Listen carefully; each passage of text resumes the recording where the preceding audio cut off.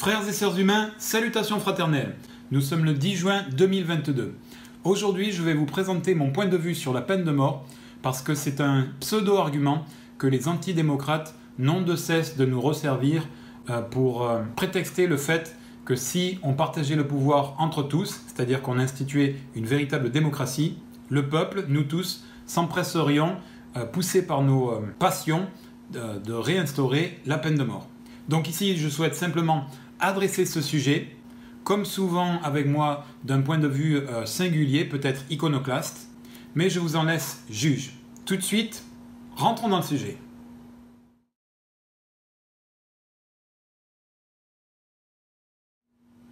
En avant-propos, avant de rentrer directement sur le sujet de la peine de mort, euh, je pense qu'il est intéressant, qu'il serait intéressant, dans le cadre démocratique, cadre dans lequel nous ne sommes pas, de reconsidérer la perpétuité. Car comme vous le savez, la perpétuité est en réalité une peine de prison de 22 ans. Mais il ne s'agit pas d'une véritable perpétuité, c'est-à-dire à partir du moment où on a été jugé coupable d'un crime, alors on passe le reste de ses jours en prison. Et je pense qu'il est intéressant de, se questionner sur la perpétuité, l'instauration d'une véritable perpétuité, car peut-être elle se suffit en elle-même et ne nécessite pas donc l'instauration de la peine de mort. Donc à titre personnel, si je devais être contre la peine de mort, on va y venir un peu plus tard, dans tous les cas de figure, la question de la perpétuité réelle m'interroge. Et j'aimerais bien connaître votre avis, donc n'hésitez pas à vous exprimer en commentaire.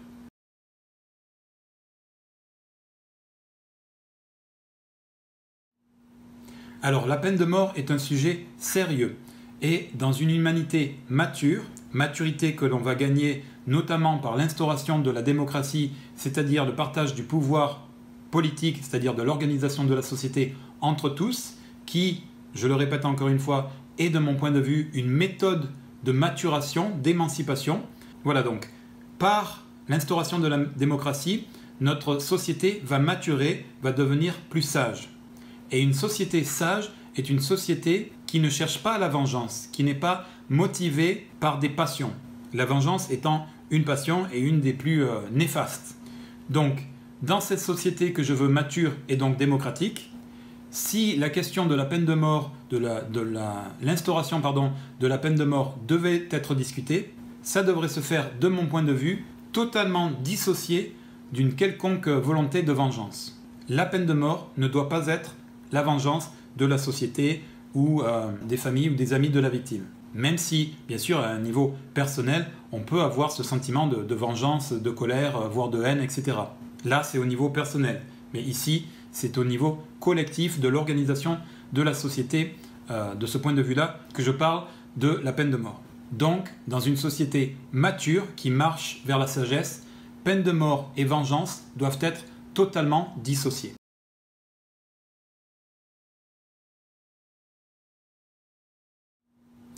Alors, j'ai conscience que ce point va paraître étrange à certains, surtout, surtout pardon, dans la période dans laquelle nous sommes, une période matérialiste, scientiste, qui est une dérive de la science, et euh, période dans laquelle la nuance n'existe euh, quasiment plus. Donc, dans cette période si euh, caricaturale, il va être difficile de partager ce point de vue, en tout cas je vais le faire, je ne sais pas de quelle façon il va être reçu, mais en tout cas, voilà, je le rends public. Je l'ai déjà dit dans d'autres vidéos, notamment dans la playlist euh, spiritualité. De mon point de vue, dans ma spiritualité, qui n'est pas une religion, euh, je laisse pour l'instant les religions de côté, dans ma spiritualité donc, tout ce qui existe physiquement et de façon immatérielle a une seule origine, la conscience avec un C majuscule. La conscience se densifie pour créer des mondes euh, des planètes, des univers, des galaxies, etc. et tout ce qu'il y a dessus, donc euh, végétation, animaux, faune, flore, et nous y compris. Donc elle se densifie, mais ça reste tout de même la conscience. Donc tout ce qui existe est en réalité une manifestation de la conscience. C'est tout ça est conscience. Je suis conscience, vous êtes conscience, tout ce qui est est conscience. Mais ceci doit être validé par une recherche scientifique ouverte, non dogmatique. Et je pense qu'il y a des pistes possibles dans l'étude, par exemple, des expériences de mort imminente, peut-être dans les souvenirs de vie passée et euh, dans les expériences chamaniques, pardon, qui peuvent permettre peut-être nous permettre d'avoir un lien direct ou, ou, en tout cas une ouverture vers la conscience ou, vers des connaissances que nous n'avons pas ici-bas, sur le plan matériel. Quoi qu'il en soit, par diverses méthodes, nous devons essayer de valider ce point de vue que tout est conscience à l'origine et que tout ce qui existe est une manifestation, une densification de la conscience. Ensuite, pourquoi est-ce qu'il y a création de monde, etc., densification de la conscience en matière? C'est parce que la, conscience veut expérimenter, veut s'auto-expérimenter en vivant une multitude d'expériences, autant de vies, euh, que ce soit des vies animales ou des vies euh, humaines ou peut-être des vies extraterrestres. Tout ça, ce sont des multitudes d'expériences qui enrichissent par l'expérience, par le savoir, de façon empirique, la conscience. Donc qui permet à la conscience de, se complexifier, de, gagner en, connaissances, etc. Et peut-être aussi pour pouvoir créer par la suite des, mondes de, plus en plus complexes. Donc voilà, d'une part, tout est conscience, à l'origine immatérielle, puis densification et création du monde matériel. Et la raison, c'est de vivre une multitude d'expériences, autant d'expériences que possible, afin de gagner en, en connaissance, en expérience et en complexification. Si ceci est validé et que nous comprenons que nous sommes tous en réalité des parties de cette conscience, que chaque individu est un atome conscience de la conscience suprême ou de la conscience avec un, C majuscule, alors notre point de vue, notre compréhension du monde change euh, diamétralement, euh, véritablement, en tout cas je l'espère. C'est un autre paradigme. Et donc c'est dans le cadre de ce paradigme que j'envisage la peine de mort. Donc, notre humanité, si elle devait choisir de réinstaurer la peine de mort, enfin en tout cas dans des sous-groupes d'humanité que sont les nations, elle doit le faire dans ce cadre de compréhension de notre véritable nature de conscience et de la raison pour laquelle nous nous incarnons. Et cette humanité, ou ce sous-groupe d'humanité nation euh, qui mature, peut choisir de marcher vers une société dans laquelle il y a de moins en moins, moins, en moins pardon, de, violences, de meurtres, de viols, euh, d'agressions en tout genre. Donc ça, ça s'organise. Mais si, malgré tout, euh, en tout cas pendant un certain temps, ça continue d'exister, et que nous faisons le choix de traiter ce problème soit par la perpétuité seule, soit par la perpétuité et la peine de mort, soit simplement par la peine de mort, dans le cadre de la peine de mort, il faut que ça soit fait de la façon suivante. En tout cas, c'est ce que je propose renvoyer les euh, atomes conscience, les individus qui auront commis euh, les crimes passibles de peine de mort, de façon sage et froide, si on veut, c'est-à-dire dépassionnée, euh, hors vengeance, à la conscience suprême, d'accord on, les renvoie, le, fait de, ôter leur vie, c'est les renvoyer à l'entre-deux-vie et à cette étape qui est la revue de vie, que rapportent les gens qui ont vécu des expériences de mort imminente. Ils rapportent comme ça qu'ils rentrent dans le tunnel de, lumière, qu'ils rencontrent euh, peut-être des défunts, etc., etc.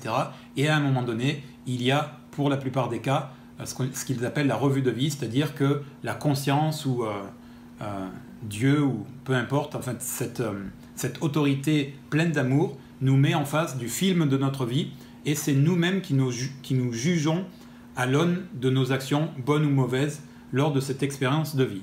Et donc, le fait de ôter la vie d'un meurtrier, c'est le renvoyer à cette expérience de vie pour que, d'un point de vue de l'âme ou euh, de, la conscience, et plus seulement du, point de vue humain, du point de vue incarné, donc il y a un point de vue euh, différent, puisse comprendre le, mal qu'il a fait à la société et aux victimes en particulier.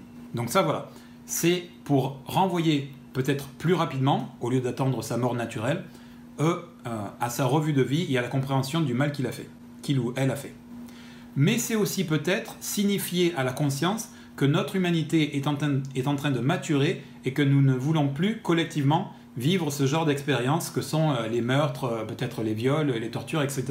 Donc peut-être que en renvoyant un certain nombre d'atomes conscience ou d'âmes, pour utiliser le terme religieux, la conscience va prendre conscience justement, va, va s'apercevoir que telle humanité a choisi de ne plus laisser euh, cours à ces expériences de, de, viol, de meurtre, euh, etc. Et donc peut-être qu'elle va, d'une façon ou d'une autre, amoindrir ces expériences euh, pour cette humanité-là qui mature.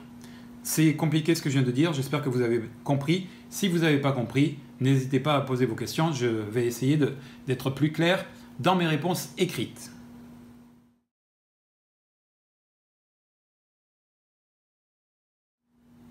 Maintenant, quels crimes sont concernés?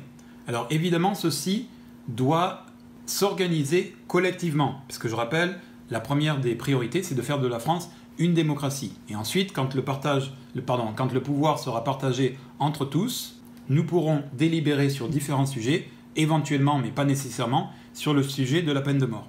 Et donc c'est collectivement que nous devons décider euh, de, ce sujet et de tout ce qu'il euh, implique. ok? Et notamment, quels sont les crimes qui sont passibles de peine de mort dans une société qui mature, si elle fait le choix de, cette méthode. ok? Alors ici, c'est évidemment un point de vue subjectif que je propose et c'est pas forcément quelque chose sur lequel je suis moi-même arrêté. Mais il me semble que les meurtres avec circonstances aggravantes, circonstances qui devront être euh, appréciées par un juré populaire accompagné de, juges, euh, mais voilà, ça, ça peut être déjà un, un premier crime susceptible de la peine de mort si nous faisions ce choix-là. Je pense qu'un simple crime, pardon, un simple meurtre alors il faut définir ce que c'est qu'un simple meurtre, évidemment ça, paraît bizarre de parler comme ça, mais je pense que malheureusement peut-être pas tous les meurtres méritent, si on veut, la peine de mort. Peut-être que sous l'emprise de l'alcool ou, je ne sais quoi, enfin on perd le, contrôle, son self-control, et malheureusement euh, on intente à la vie de quelqu'un et, on le tue. Évidemment si c'est accidentel c'est autre chose, mais ça peut être aussi volontaire, mais sous l'emprise de, stupéfiants ou, ou d'alcool ou que sais-je. Donc ça peut-être ça ça s'apprécie par un juré. Mais donc c'est pour ça que je fais une distinction entre simple meurtre, ou je ne sais pas le, comment il faut le dire, et meurtre avec circonstances aggravantes. Peut-être avec préméditation ou d'une façon particulièrement sadique ou que sais-je. Mais en tout cas, euh, meurtre euh, avec circonstances aggravantes appréciées par un juré populaire accompagné de juges peut être de ces crimes euh, punis de la peine capitale, de la peine de mort. Ensuite, les viols avec récidive. Même si un, seul viol est quelque chose d'horrible et qu'il faut punir d'une façon adéquate, en tout cas peut-être que un seul viol ne mérite pas euh, peut-être la peine de mort. Je ne sais pas. Je pose la question. Mais viol avec récidive, à moins qu'il s'agisse de maladie, et donc là ce n'est pas de peine de mort qu'il s'agit, mais d'un enfermement dans un milieu euh, psychiatrique, mais si on définit que la personne, l'agresseur, n'est pas malade, elle est consciente et qu'elle est consciente pleinement de ce qu'elle fait, et que malgré un premier jugement et malgré une première condamnation pour un précédent viol, euh, continue, répète son action, peut-être deux fois ou peut-être plus, il faut bien comprendre que le viol est une agression absolument grave et que la victime, même si elle a encore envie, va garder des stigmates tout au long de sa vie. Des stigmates importants, des stigmates qui vont véritablement handicaper euh, sa vie, euh, son expérience de vie, etc. Donc en tant que tel, il doit être jugé, mais euh, concernant la peine de mort, je pense que là, c'est viol avec récidive qui peut-être, je pose la question en tout cas, mériterait éventuellement ce sort. Encore une fois, ce sont des jurés populaires accompagnés de juges qui doivent définir euh, euh, si c'est cette sentence qui doit s'appliquer. Ensuite, la torture, parce que ça aussi c'est quelque chose de grave. Après, il y, a différentes, il y a différents niveaux de torture. Et encore une fois, ça s'apprécie par des juges, par des jurés populaires et des juges professionnels. Mais je pense qu'à un certain niveau de sadisme et de violence, la torture, même si elle n'entraîne pas la mort, doit être sanctionnée peut-être de la peine capitale, c'est-à-dire signifier euh, à la personne, à sa conscience et à la collectivité que la torture est, intolérable dans notre société qui se veut mature. Et encore une fois, je rappelle que tout ça se fait hors vengeance. Il ne s'agit pas de se venger. Il s'agit simplement de s'organiser, si on veut, pour rendre intolérable et euh, idéalement euh, amoindrir, peut-être même jusqu'à zéro, ce genre de, crime.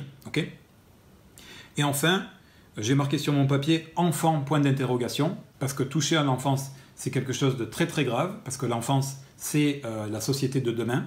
Donc est-ce qu'il faut s'arrêter à un simple, un simple entre guillemets, à un premier viol? Est-ce qu'un premier viol sur enfant mérite, doit faire encourir à l'agresseur la peine de mort? Est-ce que ça suffit euh, ou pas?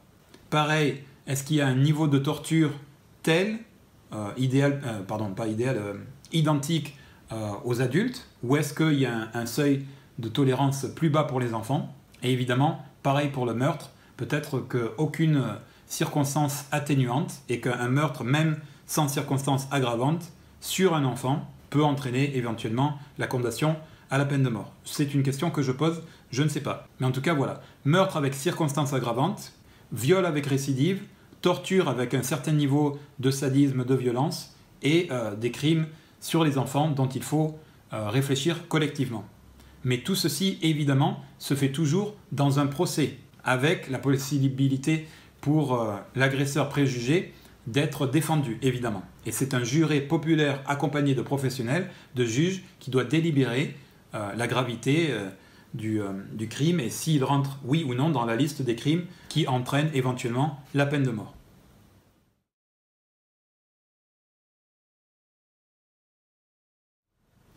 Ensuite, sur la méthode. Puisque nous voulons être une société, en tout cas c'est mon présupposé, ou en tout cas c'est mon point de vue, une société mature, responsable, sage, qui marche en tout cas dans cette direction, et que donc nous décorrélons totalement la peine de mort si éventuellement nous faisions le choix de la réinstaurer et la vengeance et toute autre forme de passion, et qu'il s'agit là d'une pratique froide, si on veut, enfin je sais pas si c'est le bon terme, mais en tout cas d'une pratique la plus dépassionnée, la plus raisonnée possible, si euh, ces deux termes, peine de mort et raison, peuvent se marier.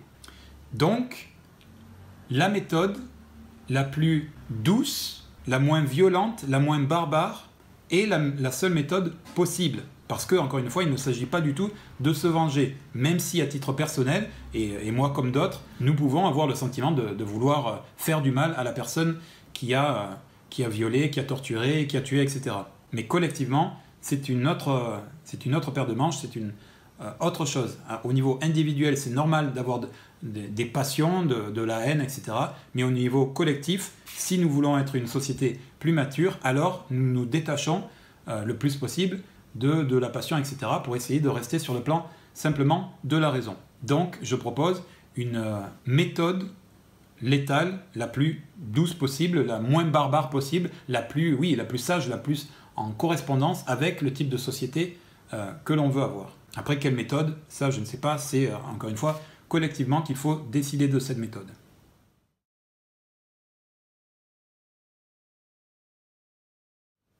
Alors, depuis le début de cette vidéo, je parle de la peine de mort, de la possibilité de la réinstauration de la peine de mort, comme un outil organisationnel, si on veut, de la société, pour régler cette question euh, des crimes, euh, éventuellement des, comment s'appelle, des, meurtres avec euh, circonstances aggravantes, euh, euh, de la torture, du viol avec récidive, etc. etc.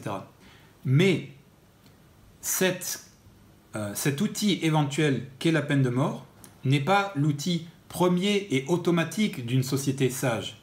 Une société sage doit évidemment s'organiser pour faire en sorte que ces situations et ces expériences, si on veut, d'incarnation d'un point de vue spirituel, n'existe pas ou le moins possible. Et ceci s'organise à la fois par euh, l'amélioration et l'élévation du niveau euh, scolaire, du niveau éducatif, qui doit inclure à la fois le libre arbitre, d'accord, la, possibilité d'avoir un esprit critique et donc d'être véritablement libre par soi, d'évaluer euh, les choses, évidemment aussi la transmission de la connaissance. Plus on est connaissant et plus on est capable de comprendre le, monde et de, l'évaluer aussi, d'évaluer euh, les informations que nous recevons. Et aussi l'éducation comporte un volet éthique, de nous apprendre euh, voilà, le, respect et, tout ce qui est éthique. Et donc, fort de notre capacité au libre arbitre et de nos connaissances les plus larges possibles et des valeurs éthiques, nous devrions déjà par l'éducation, marcher vers une meilleure organisation sociale.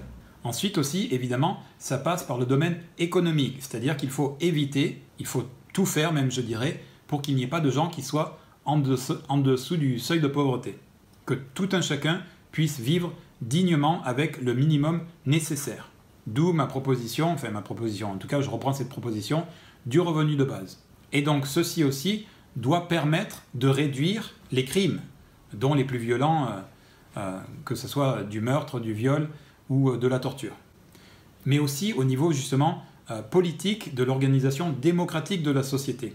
Je pense qu'il y a aussi le fait que, puisque nous n'avons pas en réalité tout un chacun de pouvoir politique, de, mots à dire dans l'organisation de la société, ça crée aussi des distorsions et des frustrations, etc., qui peuvent contribuer, pas, c'est pas le seul point, mais qui peuvent contribuer à un individu euh, qui est mal parti dans sa vie ou qui est dans une situation compliquée, qui l'amène peu à peu vers, vers voilà, la possibilité de, faire de mauvais choix, eh bien, je pense qu'aussi le fait que nous ne soyons pas en démocratie est un facteur aggravant. Et je pense que le fait d'être en démocratie peut être un facteur, au contraire, de réduction des crimes, euh, notamment les crimes les plus graves. Donc, ce que je veux dire par là, c'est que je ne suis pas en train de dire qu'il faut automatiquement penser, et en premier lieu, à la peine de mort. Évidemment que la peine de mort, c'est le dernier recours si on veut, si on fait ce choix, encore une fois, j'interroge, je propose, mais avant ça, bien sûr, en amont, il y a beaucoup de choses à faire et, euh, je le dirais simplement, une meilleure organisation de la société.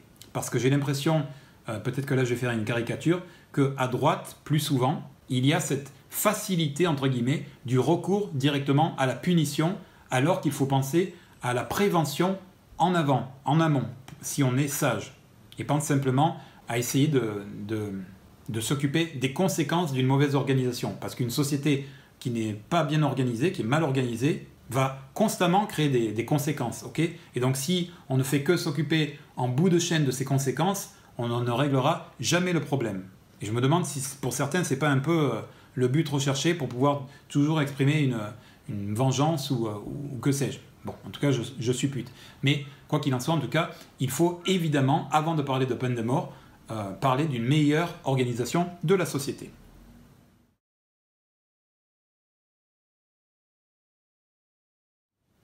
Et donc, une meilleure organisation de la société, c'est une société démocratique où collectivement nous supposons, pardon, nous euh, soupesons les choix qui sont faits, tels que ici euh, réinstaurer la peine de mort selon certaines conditions éventuellement. Là, je propose, je ne dis pas c'est absolument ce qu'il faut faire, je le propose à votre sagacité, et donc c'est collectivement, tout un chacun et, et, en groupe, que nous devons supposer, sous-peser, je vais y arriver, euh, les différentes idées qui nous sont euh, données et cette évaluation faite pour savoir si elles sont fondées ou pas, ou s'il y a meilleure proposition à faire, choisir collectivement d'instaurer, donc euh, a priori par le vote, par le référendum, telle ou telle proposition qui nous aura été soumise. Donc, dans le cadre de la peine de mort, c'est évidemment collectivement que nous devons faire ce choix ou faire un choix autre. Et comme je suis démocrate, euh, si collectivement nous devions faire le choix de ne pas réinstaurer la peine de mort, ça serait parfaitement légitime et OK pour moi.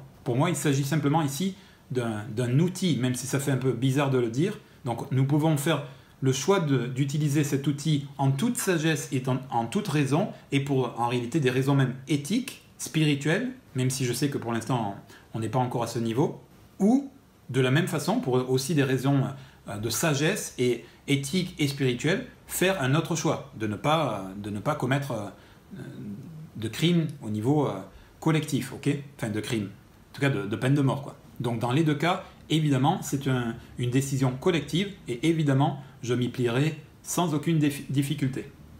Ah oui, et j'oubliais, ce qui est important de, dire aussi, de, définir collectivement, c'est pas simplement d'instaurer ou pas la peine de mort, mais c'est aussi de définir collectivement quels sont les critères Parce que là, j'en ai proposé, mais euh, c'est collectivement qu'il faut, euh, faut proposer ces critères. Et quelle est aussi la méthodologie Pas seulement euh, celle de doter la vie, mais toute la procédure. ok? Tout ceci doit se faire collectivement. Et aussi, dernier point, à tout moment, on doit pouvoir, si on fait le, choix d'instaurer la, peine de mort, on doit à tout moment pouvoir réinterroger ce, choix à des, à des intervalles réguliers pour savoir si c'est toujours la méthode que l'on veut appliquer si nous avions fait le choix de l'appliquer euh, au départ.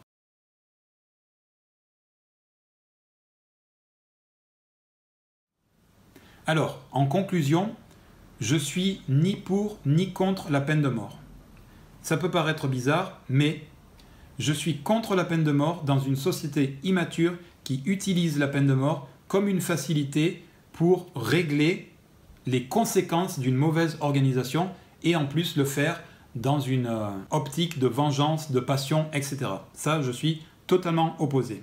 Par contre, dans une société qui cherche en amont à mieux s'organiser pour éviter les crimes et même euh, la délinquance simple, etc., si collectivement nous devions faire le choix d'utiliser cet outil euh, qu'est la peine de mort de façon la plus sage, la plus raisonnée, la plus douce au niveau de l'exécution et dans une euh, optique, dans une compréhension spirituelle de notre origine, de notre véritable nature et de la raison pour laquelle nous ferions ce choix de, renvoyer l'âme euh, à la source, là, dans ce cas-là, je pourrais éventuellement être pour, voter pour, dans un cadre collectif, la peine de mort. Mais mon avis est à la fois partagé, parce que dans un cadre sage, ce n'est pas évident que je dirais automatiquement oui à titre personnel. Il se peut que d'autres personnes exposant des, points de vue contraires me, convainquent, mais en tout cas, je suis fermement opposé dans le cadre actuel de la société qui est ni démocratique,